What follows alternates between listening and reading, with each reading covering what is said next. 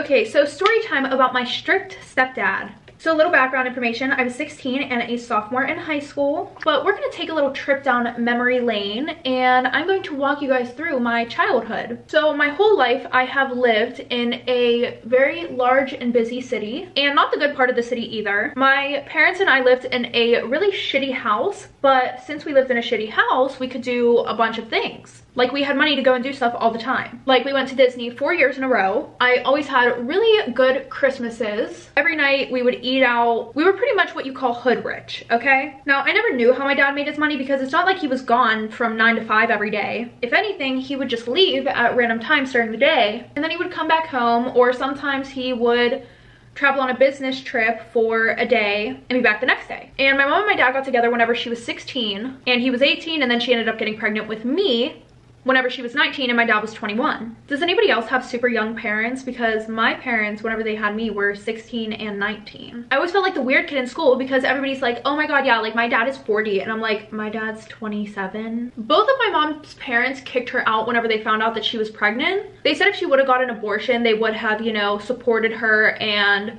not disowned her. But also they really, really, really hated my dad. So like I said, I didn't know what my dad did for a living. I mean, now obviously I know. But back when I didn't, I was so confused on why my grandparents hated him. So my mom and I end up moving in with my dad and his family, but that didn't really last long because his brothers and uncles and everybody who lived there, it was like a two bedroom house and there were like nine people living there.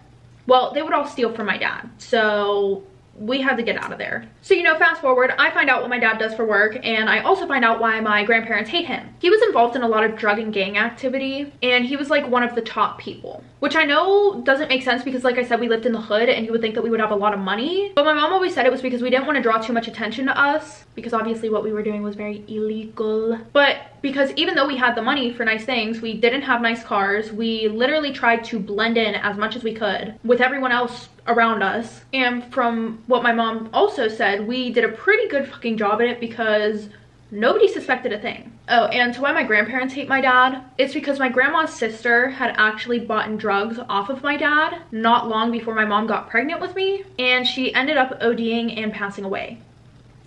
And I don't know how my grandma exactly found out that it was him or why my dad isn't in jail for that.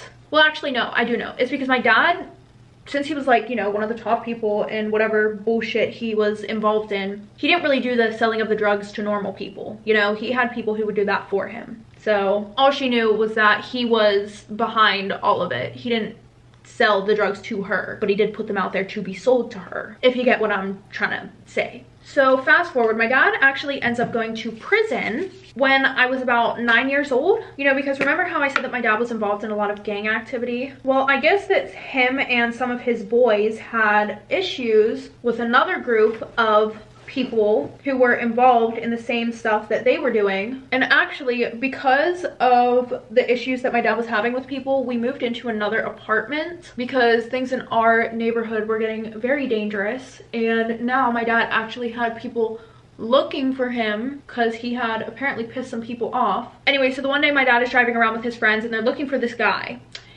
And this guy just happened to be sitting on his porch in front of his house with his family and my dad and his friends did a drive-by shooting. Um, they ended up unaliving a six-year-old girl and the guy that they had issues with and they also ended up injuring a few people. Now my dad swore up and down that he never shot anybody and obviously we're all gonna think that he's lying because who wants to go to jail for life?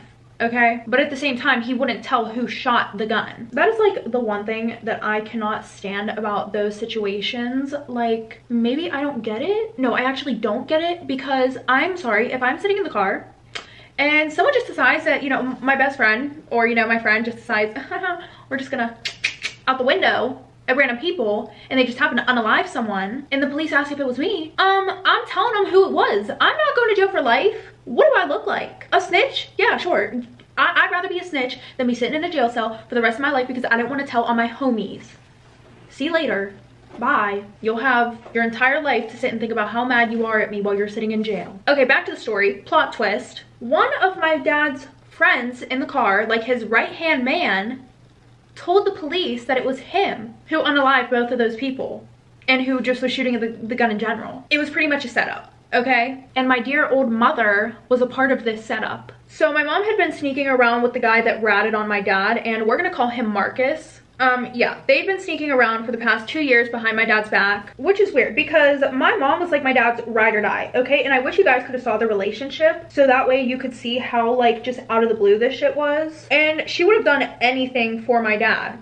Well, before I found out that she was a fucking snake. Like she studied their rights and their laws and stuff like that. So that way, in case my dad got into some trouble, she would know what the fuck they could and couldn't do about it. And in the second apartment that we had, she created a crawl space in the wall whenever my dad was on a business trip a business trip. So that way, in case the police ever did come looking for him, um, he could literally just hide in the wall and the police would literally never find him. Never. So yeah, that was a shocker. Um, and I guess the reason why they decided to set him up instead of just like, you know, her breaking up with him and getting together with Marcus was because she knew that if my dad found out that she was with Marcus, aka like I said, his right hand man, right hand man, he would have unalived the both of them. Like my dad was very, very, very, very, very family oriented. And by that, I mean, if he couldn't be with my mom, no one can.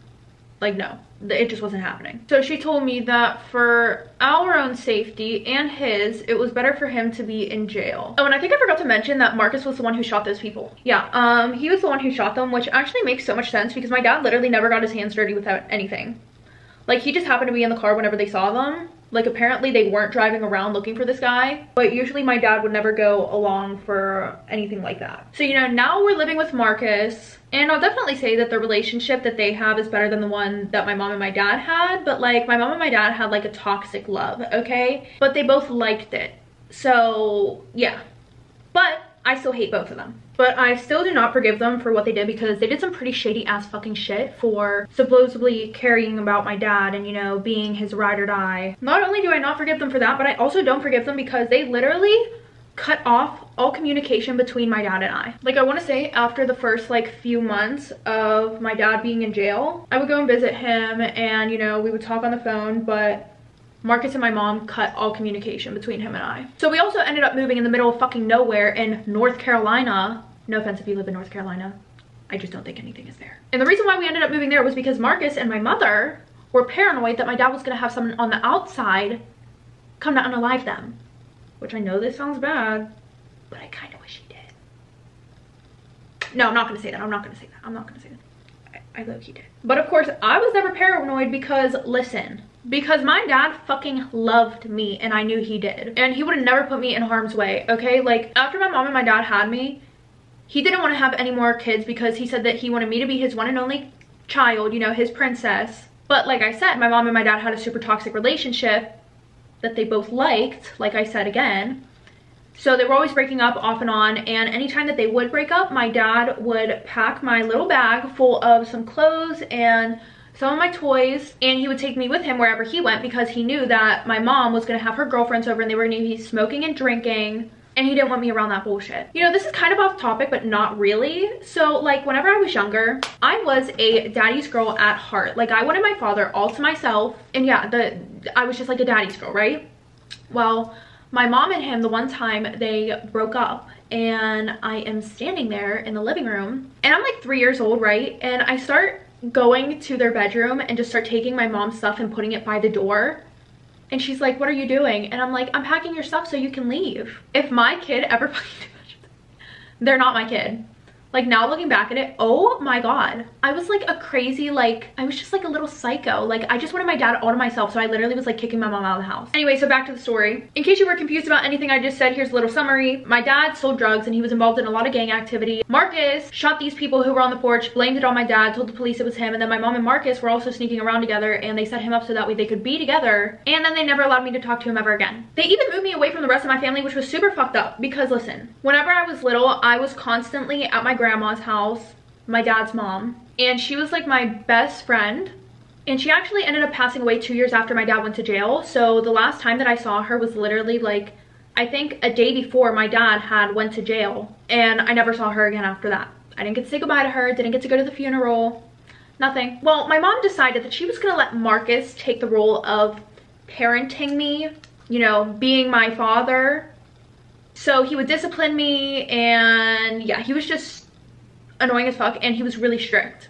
But for having no kids, I don't know what to say. I it's good thing he can't have any kids. That's what I guess I'll say. And I'm just gonna give you some examples real quick of the unusual cruel punishment that he would put upon me if I did something that he did not like. Because him disciplining me wasn't the usual, you're grounded for a week, no TV for a week, give me your phone. No, none of that.